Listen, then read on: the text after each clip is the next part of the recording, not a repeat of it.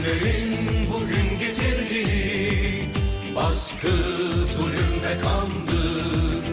Günlerin bugün getirdiği baskı, zulüm ve kandı. Birlikte olmak demek, bir arada durabilmeyi bilmek demek. Dayanışma demek, haklarımızı savunmak için birbirimizle yan yana durabilmek demek. Mücadele demekse o haklara sonuna kadar sahip çıkmak için meydanlardan korkmamak demek, halaylardan korkmamak demek, kendi hakkını ifade etmekten çekinmemek demek. Buraya gelenlerin ayaklarına sağlık.